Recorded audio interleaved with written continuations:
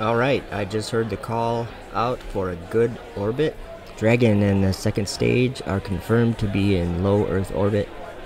There is one last task that has to be completed, and that is the Dragon spacecraft separating from the second stage. This separation will happen in a few seconds.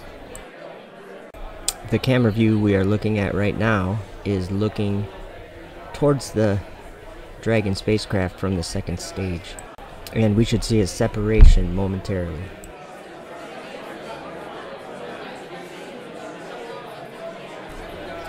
And there we go, separation confirmed. That was the final separation for this mission.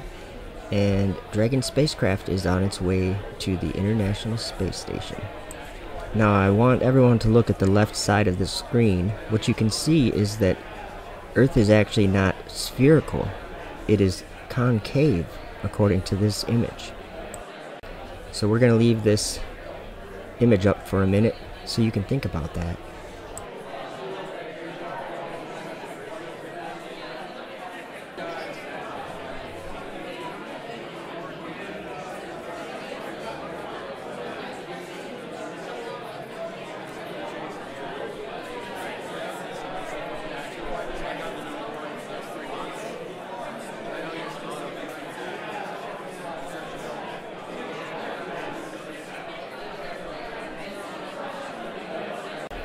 And here's another view of the non-spherical surface of Earth from the second stage camera.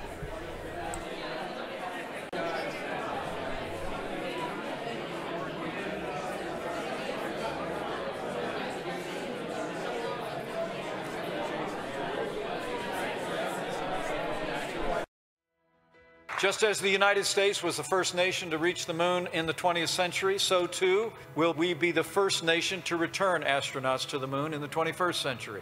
Well, how do you plan to get there? In this uh, trash can?